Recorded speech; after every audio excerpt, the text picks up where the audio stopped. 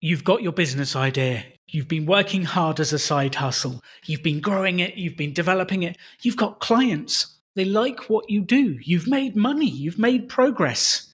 Now it's time to ditch the job and go all in. The extraordinary belongs to those that create it. Rebelling against business plans and debt, rebelling against what society expects of us to build cool businesses, make money, have fun, and do good. Let's create something extraordinary together. Welcome to the Rebel Entrepreneur. Welcome to season four of the coaching series. Who knew I would ever get to season four when I started this with Christina in season one? And guess who's back for season four? It's me, everybody. Christina. Welcome back. it's like we're back to where we started. I love this. But Christina, at the end of season one, you'd pulled the plug, you'd quit, and you were going full time. That's exciting. It is. There's a lot of time passed for the audience, but for us, there's only been about a month passed, hasn't there? Yeah, a month since we talked, and I would say only two weeks since I actually had my last day. So you've had two weeks of running your business full time. Tell me what's happened, what's been going on, where are you, what's going? So it's been a little bit wonky these two weeks. so, because, you know, you think, oh, I'm just going to stop doing my nine to five job and then launch in full time. But I actually talked to you a little bit about this, but I picked up weird little project where I'm opening a coffee shop. And by opening, I mean I'm designing and consulting the program and getting it up and running. And then after that, I'm pretty hands off, but I, I'll make a percentage which is nice. That's amazing. Yeah. And everyone that knows me knows I love coffee. So it was just kind of something fun that came up and I wanted to do. But the bulk of that time has been over the last couple weeks getting it set up. We're actually opening this week. And then, you know, I won't have to really do much except fiddle here and there. So the last couple weeks has been a little unusual. This does bring up a really interesting point because lots of times in an entrepreneur's career, you have a choice. And your choice is do I want to get paid up front or do I want a percentage of the rear end? That sounds wrong, but you know what I mean the profits that come afterwards. And the classic example of that is the guy who came up with Star Wars. He took less money up front, but kept the rights to the toys, which turned out to be a very wise move and made him mega, mega millions over the years with the rights to the toys. But it's quite interesting. What made you choose to do all of that work for a percentage of the profits? So I am getting a small amount up front, plus labor for any time I'm actually on site. So that's nice. But when he came to me, he offered the percentage off the bat because he didn't have a ton of money to pay what my consulting fees would normally be upfront. I actually get the percentage that I would want either way, plus a small upfront fee. Is he a friend already? We already have a good working relationship. I love that. I think that's excellent. For the audience that are listening, I think that's worth hearing because this guy's setting up his business. He didn't have the money for the upfront costs, but he did a deal with someone to be able to get the work done and then offered the profits afterwards. And you're willing to risk your time for a percentage of the profits, and he's willing to risk a percentage of the profits because he knows you do a good job. That's a really interesting way to do business really interesting way to do business. It's a case where this is a venue that's in a hotel, so there's built in clientele. So I'm not too worried about the risk for myself being that large. The real risk is you've done two weeks' work and you lose it all, which is very important. But considering you could have risked your house or a bunch of money or debt or all sorts of stuff, time is time is something we can learn from as well. So even if we risk time and it goes wrong, there's always something we can learn. So your main risk is these upfront two weeks work, which then you've got some top up bits afterwards. What made you say yes? Kind of something I've always played around with in my head is doing a coffee shop. And I really enjoy coffee. I'm doing kind of this Art Nouveau goth coffee vibe. And we talked about doing it before and it didn't really come to fruition. So then when he came to me and said, Hey, remember that thing we talked about? I might have an opening. I was just, I was like, Oh, this is a fun way to do a fun little concept and have very little kind of invested into it.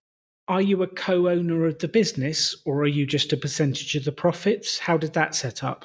So he owns his he has a separate business that does like the restaurant and the food there, but the coffee shop itself, I am a majority owner of the concept. Say we want to license it or someone says, "Oh, this is great. I'd love to purchase the concept and open another standalone."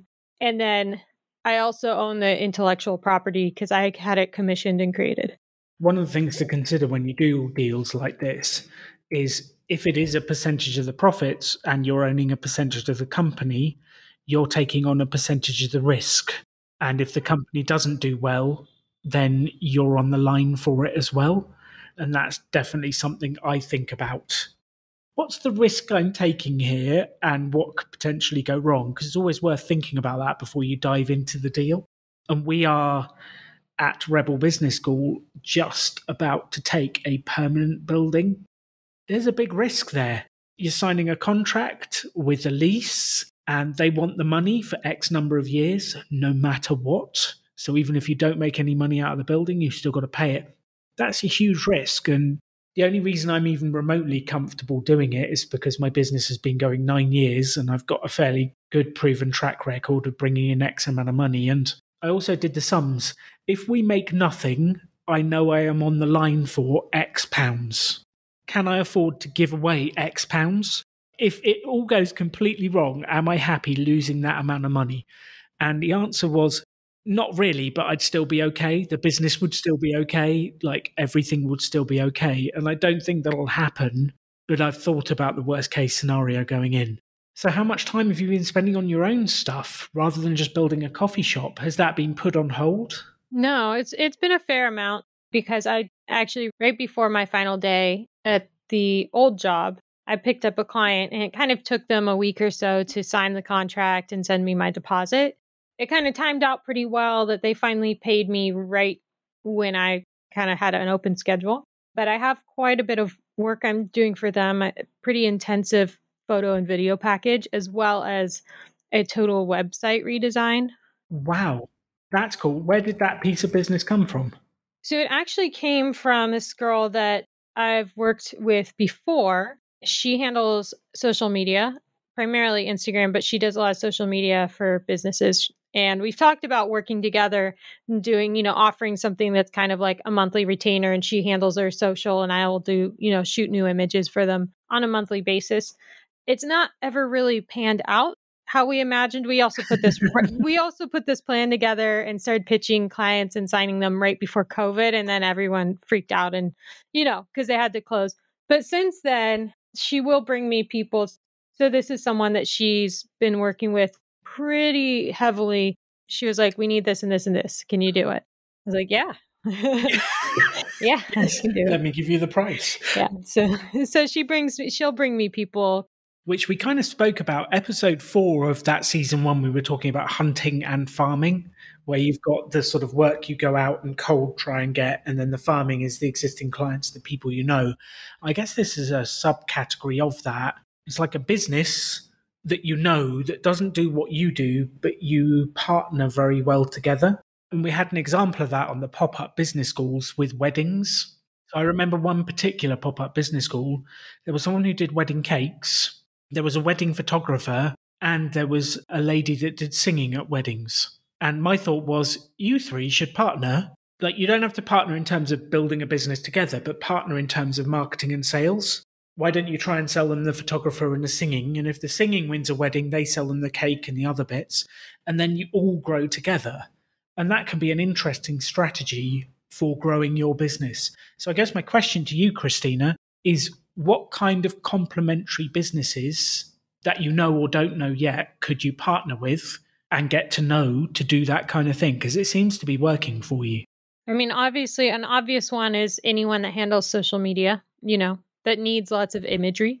Because one of the things I've been kind of learning about recently, and mind you, I'm kind of glad that I learned this before one of these big companies that I've been reaching out to booked me. I've been learning about like that commercial photography licensing, which I never did licensing agreement on my images. So it means I should be charging a lot more.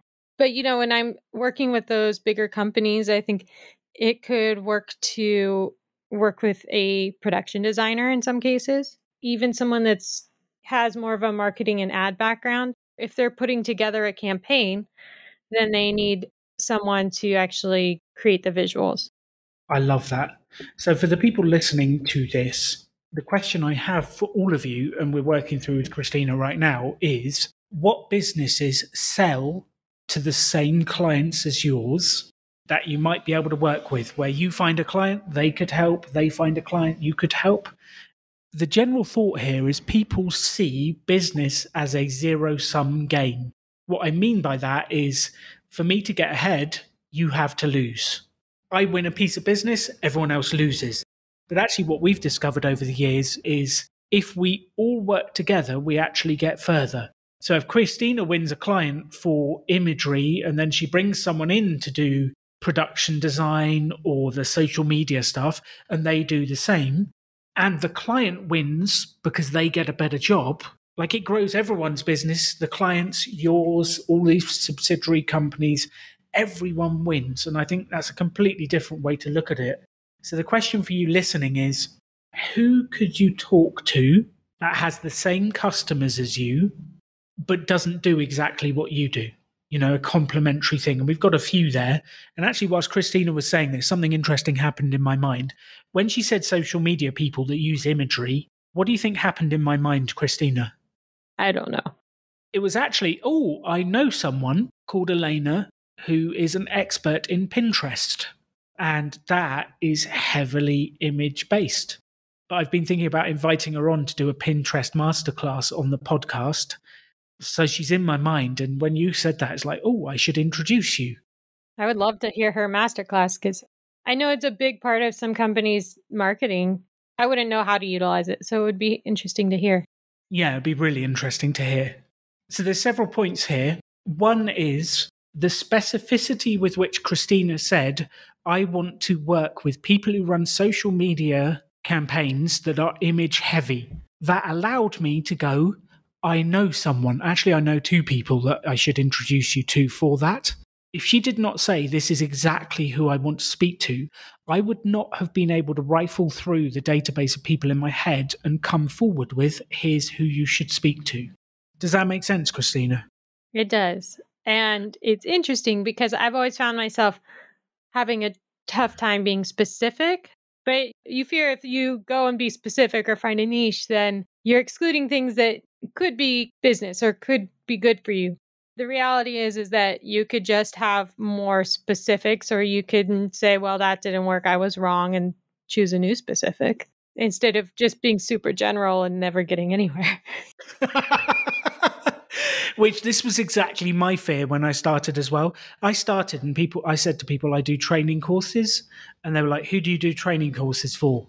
And if I said to you, "Do you know anyone who needs a training course?" What would your response be? For what? it's like I don't know. I have no idea, Alan. Shut what up. What do you want to train them in? Yeah. And it just like okay, so if you say to people, "I do imagery," do you know anyone who needs images? What for? I don't get it. And I think everyone goes through this struggle. Pretty much every entrepreneur I've spoken to goes through this struggle of I don't want to niche because I will miss out. Whereas actually the exact opposite is true. And it's interesting that in life in general, you get what you are afraid of. So if you are afraid of something and take action to avoid it, that is what you end up causing. And I have so many examples of that in my own life, in other people's lives. And this specific one is I'm afraid of missing out, so I will not niche. And that action of not niching causes missing out to happen. And it is fascinating how that works. Because if you tell me exactly, I need social media consultants who are image heavy, I'm like, okay, I know a couple of those. I can do that. If I tell you, I run training courses for people who are interested in starting businesses, side hustles, going self employed, making money doing something they love. Is there anyone you have in mind that would want to start a business? Does that trigger any ideas for you? You don't have to tell me who it is now. Just does that start to trigger ideas? Yes. That's the only possible answer without saying names. But that's how you get recommendations if one is not specific, one cannot get recommendations because the other person goes, I don't know how to help you. And the interesting bit is 99% of people want to help you. Most of them just don't know how if you don't tell them. Let's do this now. What are the list of people that you could work with? And it'd be interesting if you're listening to this show now and want to drop Christina a message if you know of any of these people, that would be ideal. How can people reach you, Christina? Freshprintmedia.com. So we've got social media managers, people who run channels. What other type of people could you partner with? Yeah, marketing, advertising folks, anyone that's planning their campaign but doesn't actually create visuals themselves. Which there we're going to small business owners, aren't we? Yeah, oftentimes it, it depends because that's something that, depending on the business, could be a, another business or it could be an in house employee of the target company. So it could be a marketing firm, it could be a PR firm, which, if we're getting really specific, it would be PR agencies for drink firms. Knowing this list of people, this is something you start to ask when you speak to friends, clients, anyone you've worked with, just in the general conversations. Oh, I'm just working on this. Do you know anyone who's in PR for drinks? Or do you know anyone who's in marketing? Or do you know any social media managers? That's who I want to speak to at the moment. And it's really interesting who you will get through doing that. What's your biggest focus for the coming weeks? Getting my marketing outreach back to being a consistent daily thing because we were working on it. I was getting pretty good. It just went in waves, but I was getting pretty good at being consistent. And then I feel like this last month or so it dropped off again. So I just want to get that back to being a habit. I love that. Yeah, it's the marketing. Let's get selling. I love this. And you've got those lists you were building. I guess it's probably time to go back to all the people that you were speaking to and do the next round with them. Yeah, I could probably go back and hit the first round now. Send them something new. I think reaching out to new people, reaching back out to the old ones. And the other thing I really want to do, and maybe this is something that we find someone that would be really brilliant at this, is looking at my website and saying, how do I how do I make this be very clear and easy to tell what I'm selling?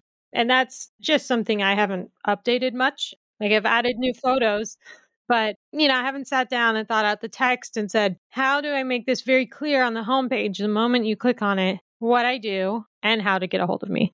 So I think that's kind of something I need to sit down with it and say, what do I do and how can I make this reflect that? Well, I guess the question is, what do you want your website to do? What's the output you're looking to get? I mean, I want people, if they find it, if they're searching, you know, SEO being a whole other thing, say they find it and they're looking for, you know, food and beverage photography or cocktail styling and photography. If they find my website, for it to be like, you're in the right place, contact us, let's set something up. That's the last bit is to contact us. This is the bit people think I, I want people to like my website. I want people to look at it and think they know what I do actually, I wouldn't care about any of that. All I care about is are people emailing me asking for my services? Like, are people contacting me? For you and your business, that's it. For other people's businesses, maybe people are buying packages online, maybe people are buying things online. That's the outcome. For you, I think it's are they contacting me? Have you had business come through your website? No, I mean, mostly at this point, I use it as a just as an online portfolio. And lately I've been using Instagram more than that even. There's an interesting bit is do we actually want to get that website to a point where it's going to drive business to you or do we want to focus on Instagram or do we just focus on the cold marketing and the website is just the place where they go and check and then they come back to you and any of those answers are fine. SEO is a one, two, three year play. It can be shorter, and I know people who've done it in smart ways. One of the shortcuts I think that's quite interesting is Google My Business. So, Google My Business is a fascinating thing where you get your pin on the map and you can have your business down for different categories, different keywords. You can develop it. Then, if anyone searches food photographer LA, we work to get you to number one in the list. That depending on your type of business, can be incredibly powerful and more powerful than a website. Our accountant, Emma May of Millwood May, she did exactly that. She got on Google My Business, she set the pin, she did the keywords, mm-hmm. she worked and filled out Google My Business completely, which how many accountants do you think actually properly fill out Google My Business? And then she asked for reviews. So she, I remember this very vividly. She emailed me and said, We've just set up this. Would you leave me a review? Now, I love what she does. She really looks after me. So I went straight there and I gave her a five star review because I believe in her service. I put my text. I made sure that I put in accountant Wokingham as the term so that it helps her on her keywords. And we really did that. She has, I think it's 65 star reviews on there. And the closest accountant in Wokingham has one. She has filled it all out, done the reviews, done everything, and she's showing up top of the list. And that has been worth sometimes one to two leads a day sometimes two to three a week, but it's been an incredible driver of business. Do you have Google My Business? I do, yeah.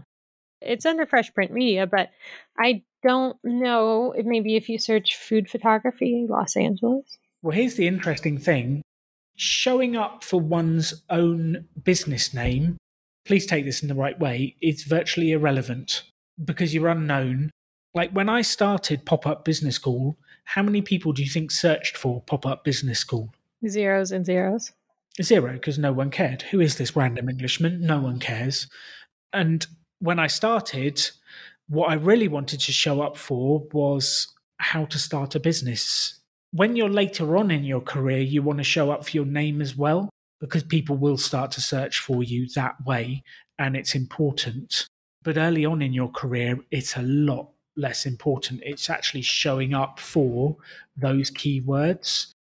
On the map, this is quite interesting. There's adverts. So there's Tom Kubik Photography and Space and Light Digital. They are paying to be top of the list.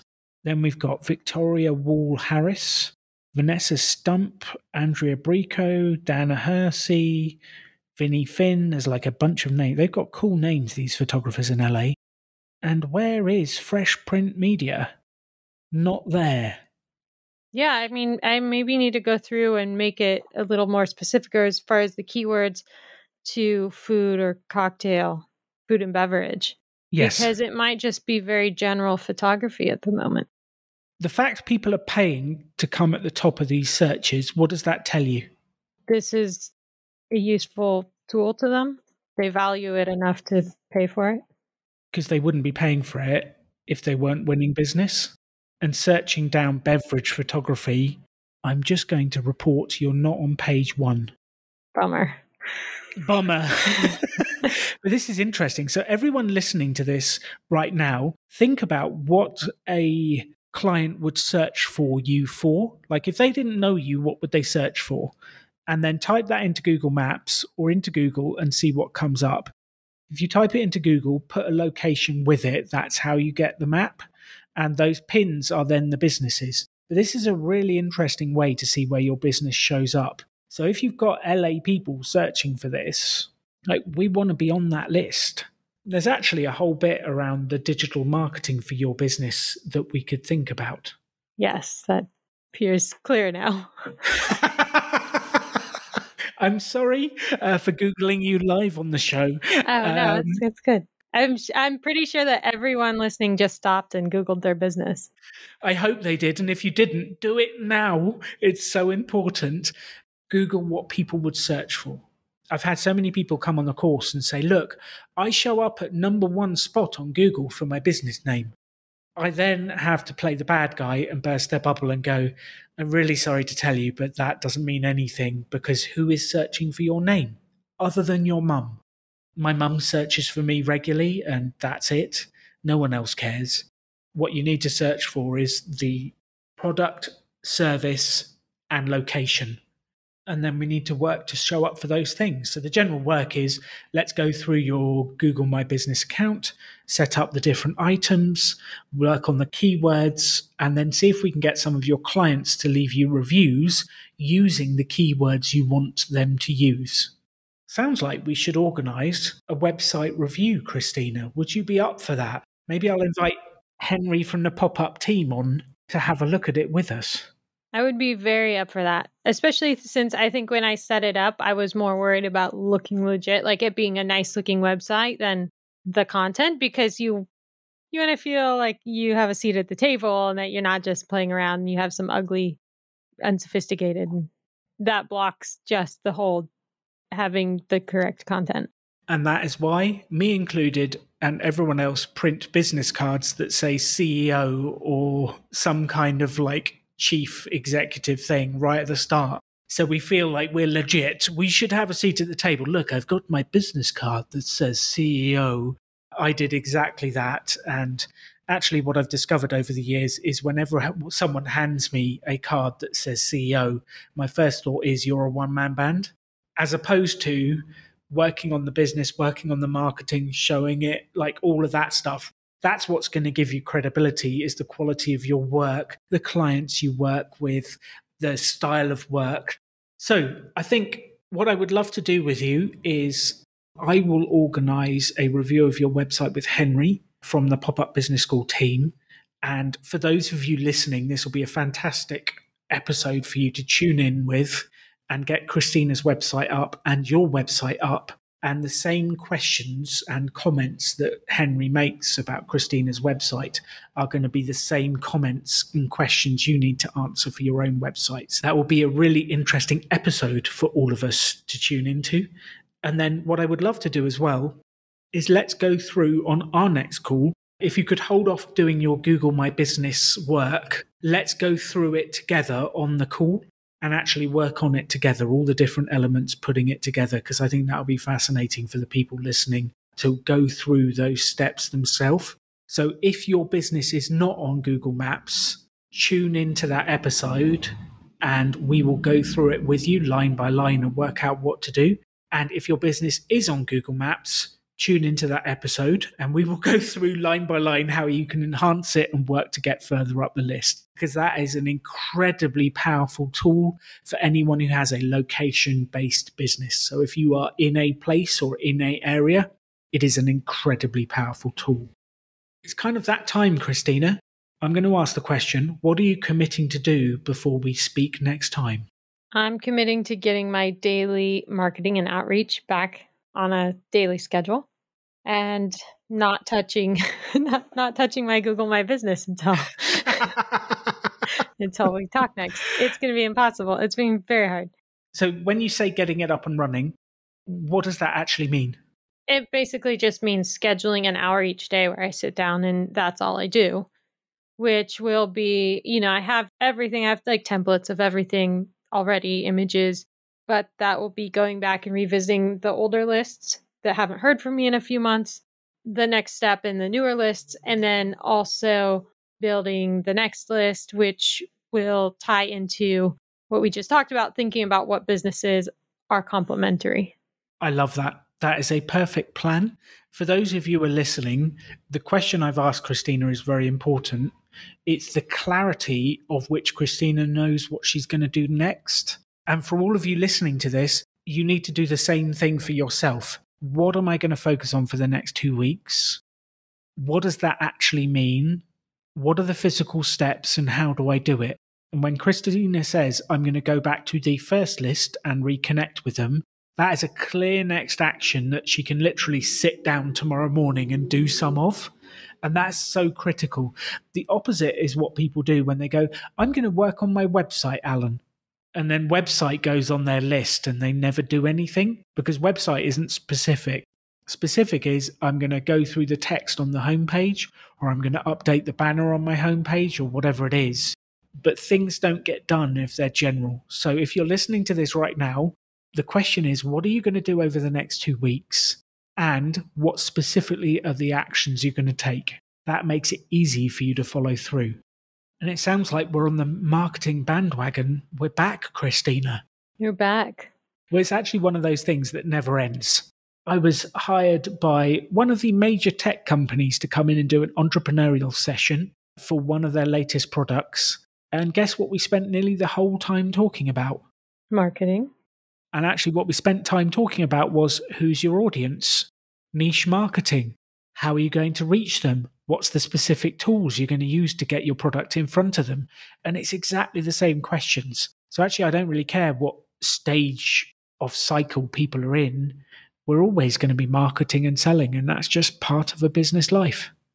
Final question for you, Christina. What are you most excited about in your new full-time world of running fresh print media? What's what's got you going? I'm excited to do this. At the end of the day, just the ownership of my time because it's instead of just trying to like oh scurry around and shove stuff in and make sure you get it done it's like just having the ownership to sit down on a daily basis and spend your prime time your best hours on things you want to do and being able to choose how you lay things out and who you get to interact with and work with. I'm not afraid to cut someone out, okay? not, not I'd every... better keep performing then, hadn't I? no, no. Just as far as like, you know, sometimes you work with clients, not everyone is worth it.